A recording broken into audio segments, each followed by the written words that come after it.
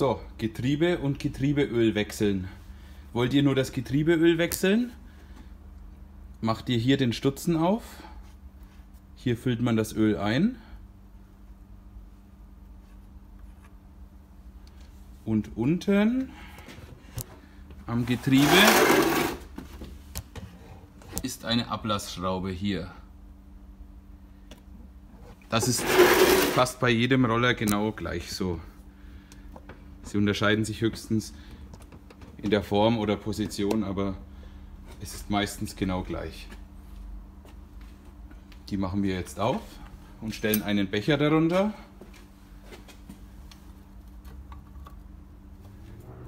Und dann können wir das Öl ablassen. Es wäre natürlich gut, wenn noch was rauskommt, sodass man nicht Monate oder Jahre lang ohne Öl gefahren ist.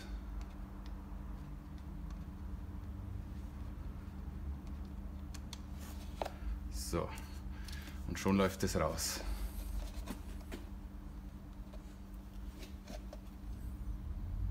Jetzt warten wir einfach, bis nichts mehr kommt.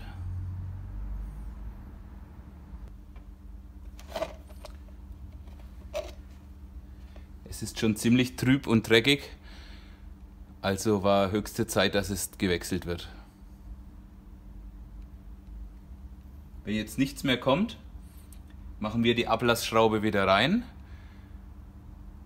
Und dann können wir auch schon wieder das Öl auffüllen. Dann wäre der Ölwechsel vom Getriebe gemacht.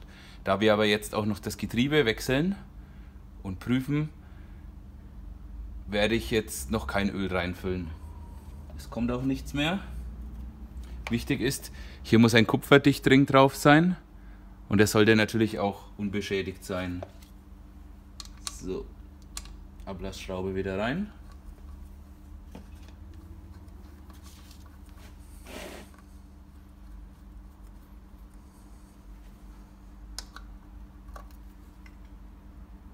Fest anziehen. Und würden wir jetzt das Öl wieder reinkippen, da steht übrigens hinten auf dem Block immer drauf oder im Serviceheft, wie viel rein muss. Man sollte nicht mehr reinfüllen, das läuft dann nur raus auf den Reifen und so weiter. Das ist eher gefährlich. Hier steht jetzt drauf 110 Kubikzentimeter, also 110 Milliliter Öl.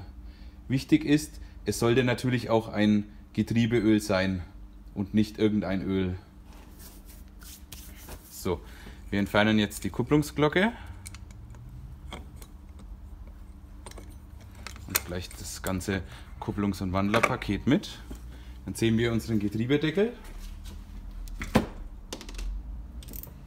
Dann lösen wir alle Schrauben am Getriebedeckel. Öl ist ja jetzt heraus. Ich habe extra schon mal zwei Schrauben weggelassen, damit es schneller geht auf dem Video.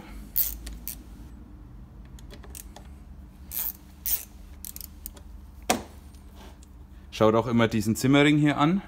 Der sollte natürlich dicht sein, denn sonst läuft euch das Getriebeöl wieder davon.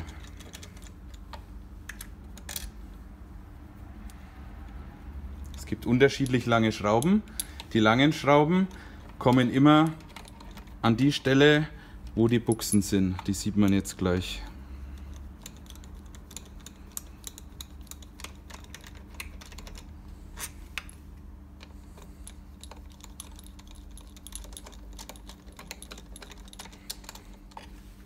So, die Schrauben sind draußen.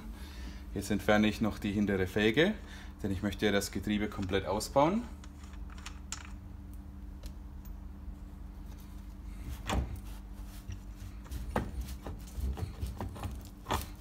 So, hoffentlich hält der Motor an der Schnur.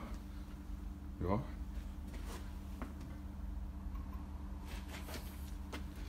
So, jetzt den Getriebedeckel langsam abhebeln muss man manchmal mit einem Schraubenzieher etwas darunter hebeln.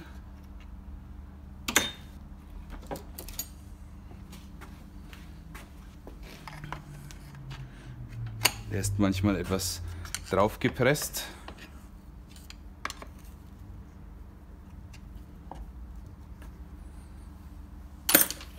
Alternativ mit einem kleinen Gummihammer etwas draufhauen. Jetzt ist der Getriebedeckel ab. Da kommen uns auch schon die Dichtung entgegen. Bei manchen Modellen ist eine Papierdichtung verbaut. Die sollte natürlich zumindest der innere Ring noch ganz sein. Wichtig ist auch bei Modellen, die keine so eine Papierdichtung haben, die werden mit Motordichtmasse abgedichtet. Das ist zum Beispiel bei Piaggio so, da schaut es dann quasi nur so aus. Da muss alles penibel gereinigt werden und die Dichtflächen komplett entfettet und dann wird Motordichtmasse aufgetragen und wenn man dann das Getriebe wieder zusammengebaut hat, muss man einen Tag warten, bevor man Öl wieder einfüllt. Ganz wichtig. Auf jeden Fall haben wir jetzt hier unsere Welle vom Wandler und der Kupplung. Das, das Lager sollte natürlich nicht malen und auch kein Spiel haben. Genauso sollen hier die Laufbuchsen nicht ausgeschlagen, abgenutzt sein. Das ist bei Rollern, die mal mehr als 40, 50.000 Kilometer haben, ist das so. Und bei Piaggio habe ich das auch schon oft gesehen. Dann haben wir hier die Radwelle und unsere Zwischengetriebewelle. Wie man sieht, selbst ohne Öl läuft es noch komplett geräuschlos. Das sagt uns, dass das Getriebe noch sehr gut ist. Wir machen jetzt die Radwelle raus. Dann brauchen wir einen Gummihammer. So, jetzt ist die Radwelle heraus. Die sollte am besten Fall natürlich auch nicht eingelaufen sein, weil hier ist nochmal auf der Seite ein Zimmerring, der sollte natürlich auch in Ordnung sein, genauso das Lager. Ist aber eher selten kaputt, genauso wie die Getriebewelle selber. Auch die Verzahnung geht so gut wie nie kaputt. Und dann haben wir noch das Zwischengetriebe. Sieht auch sehr gut aus. Und dann prüfen wir noch unsere Lager. Die gehen natürlich alle noch sehr gut. Auch keine Beschädigungen oder Späne irgendwo. So soll es natürlich sein. Dann bauen wir wieder die Zwischenwelle ein. Manchmal sind auch hier oder auf der anderen Seite Ausgleichsscheiben, ganz, ganz dünne Unterlegscheiben, aber nicht immer. Das sind einfach Fertigungstoleranzen und die gleicht dann der Hersteller damit aus. Hier sind es jetzt zum Beispiel keine. Die dürft ihr natürlich nicht weglassen und müsst ihr auch wieder so einbauen, wie sie auch vorher drin waren. Da versteht das Getriebe nämlich keinen Spaß. So. Bis zum Anschlag alles rein.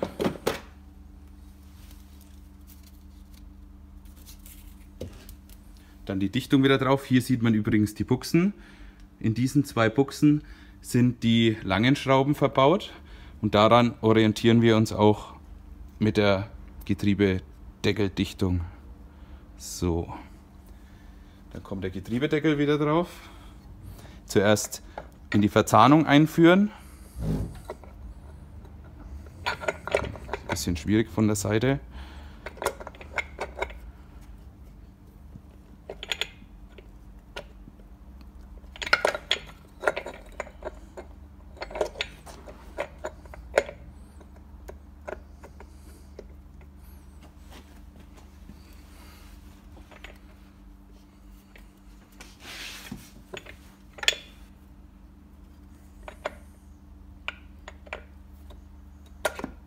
So. Jetzt kommen die Schrauben wieder rein.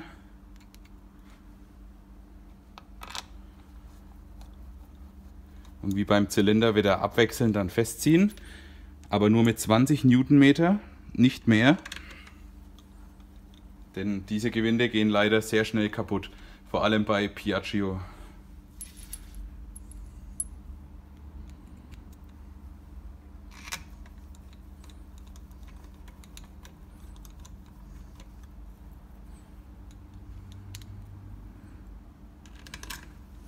Ich rate übrigens davon ab, das Getriebe mit Bremsenreiniger oder irgendwelchen Reinigern komplett rauszuwaschen, denn dann gehen die Lager, also die Schmierung der Lager kaputt. Das würde ich nicht machen.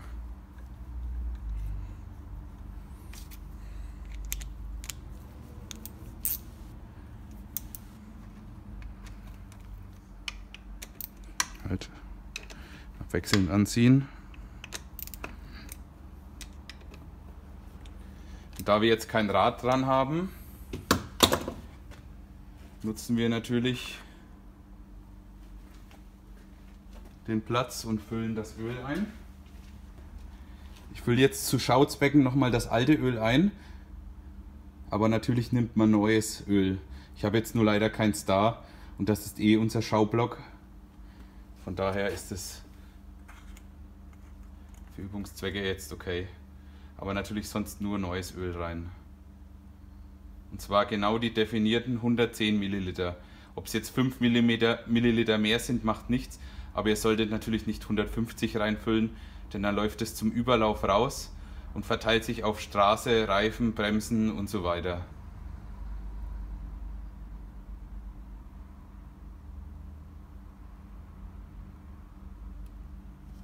So. Wenn das Öl drin ist, unseren Stopfen wieder drauf, dass kein Dreck ins Öl kommt.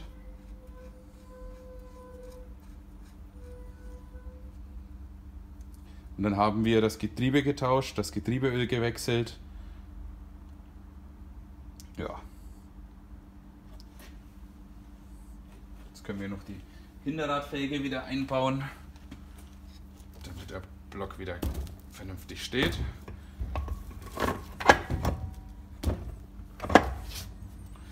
Wie man hört, es läuft schön leise und geräuschlos. Ich verbaue dir jetzt ein gerade verzahntes Tuning-Getriebe, dann ist es normal, dass es Geräusche macht, aber ein Originalgetriebe sollte keine Geräusche machen. Ein Getriebeölwechsel ist übrigens bei Rollern sehr selten notwendig. Normalerweise alle 15.000 höchstens, also alle 15.000 Kilometer. Oder wenn eh was daran gemacht wird, wenn zum Beispiel die Dichtung undicht wurde, ein Simmering undicht wurde oder ein Lager, dann macht man das mit. Aber normalerweise ist das nicht nötig. Denn der Verschleiß hält sich bei Rollern sehr in Grenzen.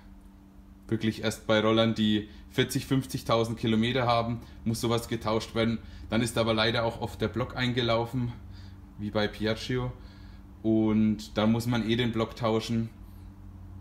Aber so ein Getriebe geht eigentlich fast nie kaputt, außer man tunt natürlich ohne Ende und fährt halt mit Originalgetriebe und 20 PS am Hinterrad. Das sollte natürlich dann klar sein, dass das nicht lange hält.